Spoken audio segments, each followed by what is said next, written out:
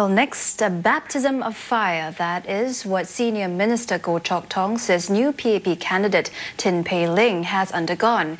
Well, he's referring, of course, to the intense online scrutiny she has faced since being introduced last Monday. Mr. Goh said that the 27-year-old is strong and working hard. But he came out to clarify one of his Facebook postings about her supposed trauma.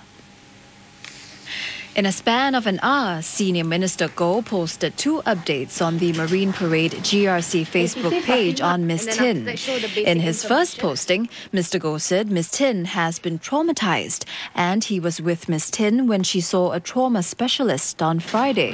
Mr. Goh said that her initial hurt and pain have subsided and that in the process discovered steel in her. He added that she will grow in strength. Shortly after, Mr. Goh followed up with another posting. Mr. Goh said the media failed to appreciate his tongue-in-cheek post. He said he had used a medical metaphor as Dr. Fatimah Lateef is a trauma specialist. His comments come on the heels of other party members who spoke in support of Ms. Tin.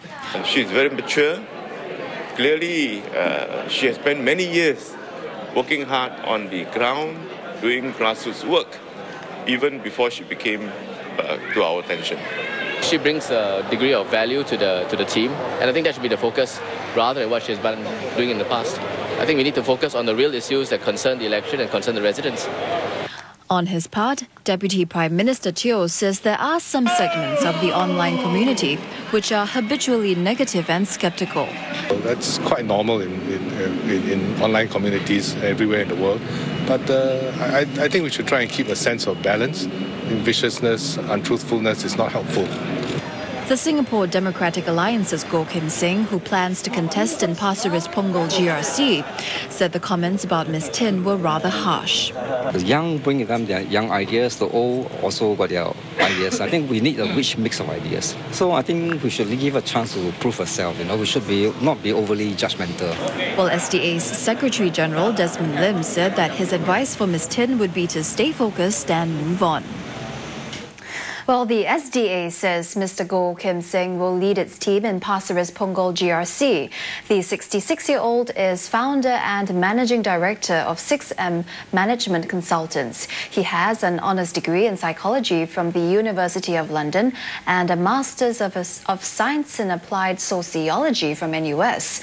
Mr. Goh, who is a first-time candidate, is married with two children.